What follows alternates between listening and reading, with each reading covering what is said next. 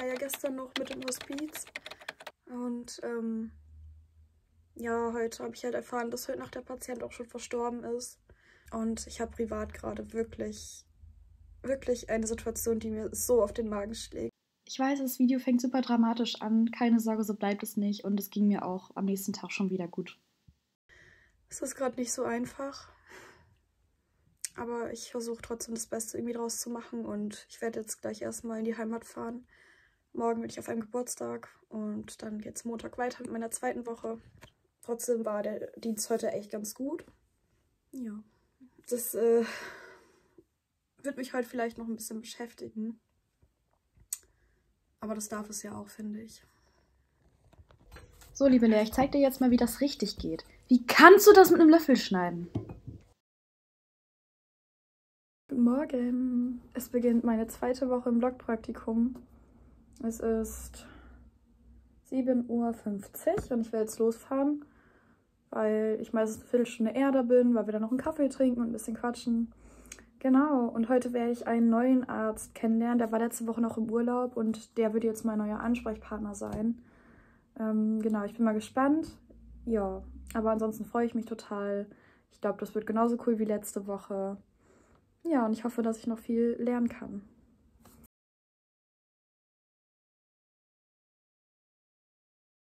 Hi, es ist jetzt Montag und ich äh, beginne gerade meine zweite Woche im Blockpraktikum Allgemeinmedizin auf dem Land. Ja, ich mache bei dieser Landpartie mit. Das bedeutet, ich bin nicht in Hannover in der Stadt in einer Hausarztpraxis, sondern ich bin ähm, irgendwo außerhalb hinzugewürfelt worden und habe hier meine Unterkunft zur Verfügung bekommen. Ja, die erste Woche war ziemlich cool. Ich habe schon einen ersten Teil gedreht, da könnt ihr auch sehr gerne vorbeischauen. Das hier ist der zweite Teil und hier wird es sich dann um die zweite Woche drehen. Ja, ähm, heute habe ich doch noch nicht den Arzt kennengelernt, ähm, der jetzt mein neuer Ansprechpartner ist. Den werde ich morgen erst kennenlernen. Dementsprechend war ich heute mit den Ärzten die ich bereits kenne. Und das war wieder sehr cool. Heute durfte ich viel alleine mit den Patienten sprechen. Also es war so, dass äh, ja, der Arzt die Patienten zu mir ins Zimmer geschickt hat und ich schon mal das Anamnesegespräch geführt habe. Der Arzt ist dann irgendwann dazu gekommen. Ja, und das, hat, das haben wir heute ein paar Mal so gemacht und das war ziemlich cool. Das hat mir super viel Spaß gemacht. Ähm, und es ist auch wirklich eine Übungssache und je öfter man das macht, desto sicherer wird man und ist natürlich auch ein bisschen tagesformabhängig, aber mir hat das echt viel Spaß gemacht. Genau. Mm. Heute war mein Highlight, dass ich einer Patientin die Laborwerte übermitteln durfte. Und ich weiß, das hört sich gar nicht nach so einer großen Sache an, aber das ist eigentlich eine Sache, die man halt als Student, als Studentin wirklich mit Vorsicht genießen muss, weil sowas ja eigentlich ein Arzt machen muss ich fand es sehr schön, dass der Arzt mir das auch anvertraut hat, dass ich das mache.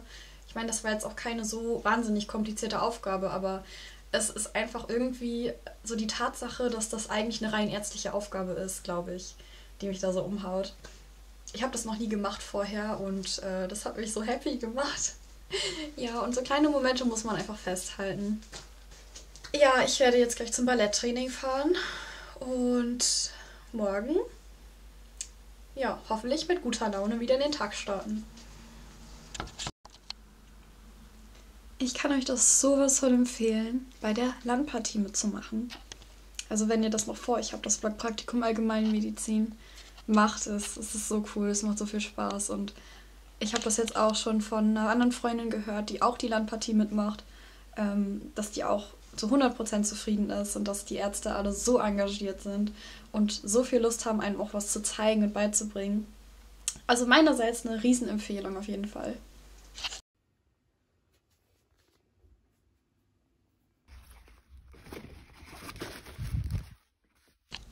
Hi, es ist jetzt Dienstag und ich hatte gerade schon meine Frühschicht. Äh, also ich habe immer von morgens 8 Uhr bis 12 Uhr Schicht und dann eventuell von 15 bis 18 Uhr, je nachdem. Gestern zum Beispiel bin ich dann nachmittags zum Ballett gefahren, da war ich nicht in der Schicht. Ähm, heute fahre ich wieder hin, nachmittags. Ich esse jetzt gerade erstmal was und äh, werde, glaube ich, ein bisschen mein Video schneiden oder so. Ich kann leider jetzt keinen Sport machen, weil ich heute in der Praxis gegen Grippe geimpft wurde. Gott sei Dank habe ich endlich diese Impfung, weil jedes Jahr, wenn die Grippeimpfung ansteht, werde ich krank. Das ist nicht so schön. Aber ähm, ja, dann als ich gesund geworden bin, dachte ich mir so, dieses Jahr nehme ich die Impfung trotzdem noch mit und jetzt habe ich sie gerade bekommen. Äh, hoffentlich werde ich keine starken Impfreaktionen haben. Drückt mir die Daumen. Mhm. Genau, es wäre nämlich wirklich schade, weil ich morgen mich mit einer Freundin treffe und wir wollen ins Pfannkuchenhaus gehen. Mega geil. Und da wäre ich schon sehr traurig, wenn das nicht geht. Und natürlich wäre ich traurig, wenn ich nicht zur Schicht kann. ja, ich habe heute den anderen Arzt kennengelernt. Auch super, super nett. Der hat mich dann heute auch mitgenommen. Äh, und es waren wirklich spannende Fälle. Das waren halt so Patientenfälle, wo ich nicht auf den ersten Blick so gedacht hätte, ähm, was die haben. Oder wo ich wirklich, wenn ich da alleine gewesen wäre, Schwierigkeiten gehabt hätte, herauszufinden, was jetzt so die Ursache ist. Und das finde ich immer dann sehr spannend zu sehen, was der Arzt dann so macht. Ähm, und er hat das super gut gelöst, finde ich. Und habe ich mir dann mitgeschrieben. Und äh, ja, das ist cool, weil so halt der Wissenszuwachs irgendwo am größten ist. Wenn man halt einen Patienten hat, wo man gar nicht weiß, was man da machen soll und dann halt ein Beispiel hat, was man dann machen kann, das ist immer ganz super. Ja, ich will jetzt mein Essen genießen und äh, später wieder in die Schicht gehen. Bis dann. Ich werde gleich wahnsinnig. Ah! Oh mein Gott, ich habe fast die 1000 geknackt. Ich kann's nicht fassen. Jetzt filmt er.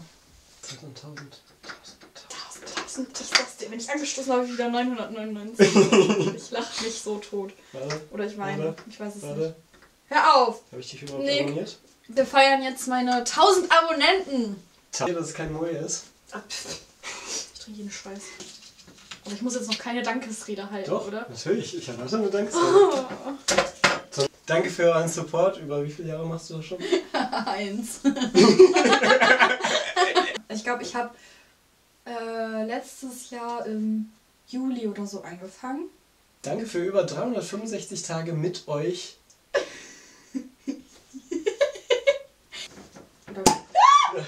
Tausend Abonnenten! ich halte keine Dankesrede. Ich werde ich nämlich. Die Dankesrede. Ja, okay, die hast du gehalten, aber ich nicht.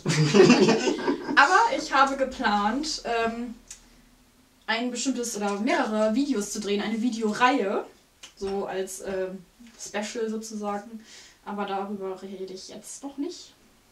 Da du es noch nicht geplant hast. Doch, habe ich. Hab ich. aber ich möchte ja die Spannung aufrechterhalten. Ähm, genau, seht ihr beim ersten Video. Taschentuch, Taschentuch. Auf die 1000 Abonnenten. Auf 1000 Abonnenten. Und auf 1000 mehr. du bist durchaus seriöser. Was bin ich? Seriöser. Als? Ich. Ja. Katz! Hallo. Hallo. Zusammengekommen, um den tausendsten Abonnenten von Lea Marianne zu. Das bin ich.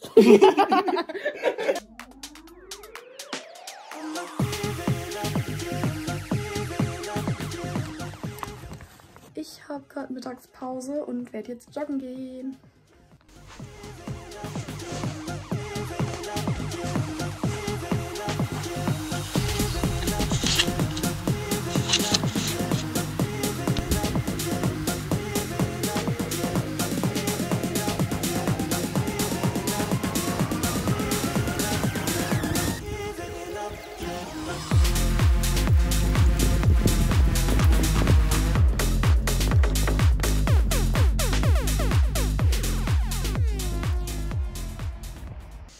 Hi, es ist jetzt Mittwoch und heute durfte ich ein Sono alleine machen. Also ich durfte auch alleine mit der Patientin in den Raum gehen und einen Ultraschall machen.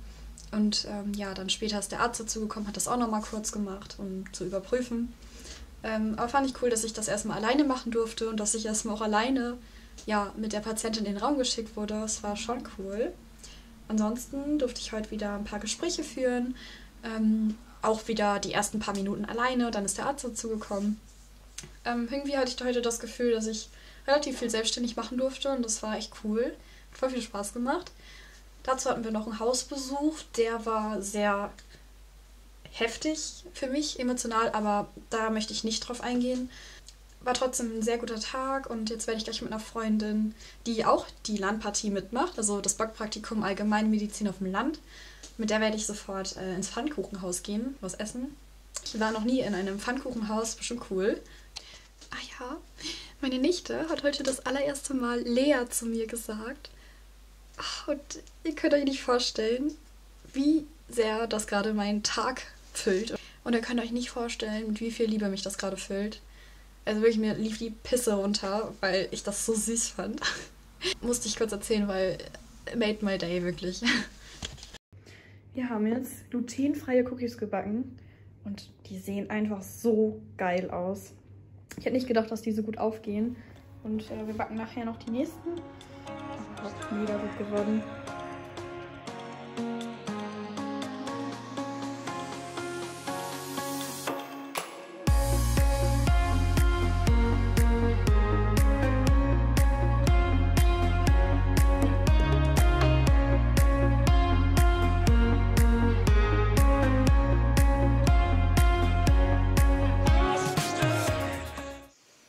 Mittlerweile bin ich wieder in Hannover in meiner Wohnung zurück. Mein Blogpraktikum Allgemeinmedizin ist jetzt vorbei und ich gehe mit einem lachenden und mit einem weinenden Auge da weg, weil es mir so gut gefallen hat. Ich bin total begeistert und ich bin so dankbar dafür, dass mir so viel gezeigt wurde, dass mir so viel auch anvertraut wurde und dass es alles so herzlich vor sich ging. Das ist nicht selbstverständlich. Am liebsten hätte ich sofort da angefangen zu arbeiten. Ich wäre am liebsten sofort da geblieben. Leider fehlt mir die Approbation. Muss ich nochmal so zwei oder zweieinhalb Jahre warten, bis ich ähm, ja, Ärztin bin. Aber echt, wirklich am liebsten wäre ich da geblieben. Das war so cool, es hat mir so viel Spaß gemacht. Ich habe eigentlich nicht mehr viel Neues erlebt, als das, was ich erzählt habe die letzten Tage.